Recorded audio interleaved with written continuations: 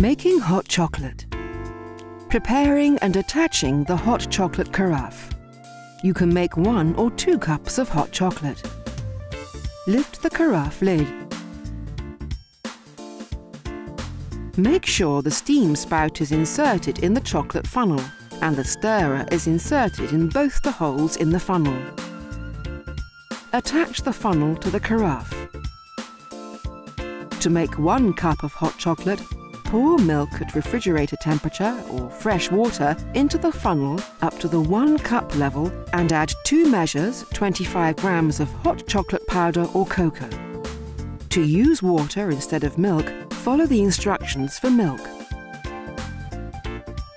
To make two cups or one mug of hot chocolate, pour milk or water into the funnel up to the one mug or two cups level and add four measures of powder, 50 grams.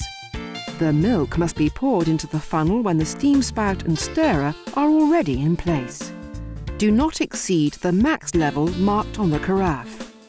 Increase or reduce the quantity of hot chocolate powder according to taste. Close the lid.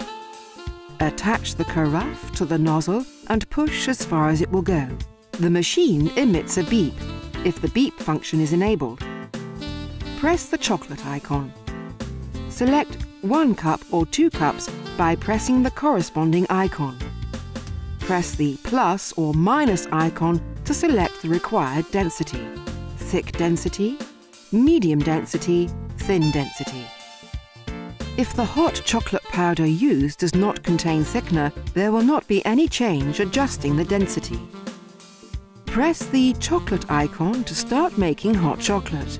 The appliance starts mixing the drink and then delivers steam to heat it. While making the hot chocolate, it is normal for steam to come out of the holes in the chocolate carafe lid. Heating the milk causes splashes inside the carafe. This is normal.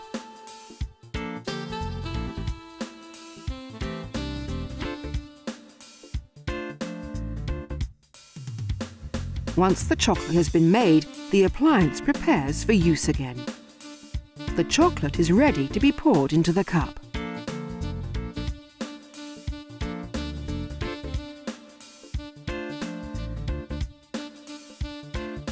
The hot chocolate quantity in the cup will vary, varying the density. If you choose thick density, there will be fewer chocolate than that contained in the cup if choosing the other densities. To interrupt making the chocolate, press the chocolate icon again or the stop icon.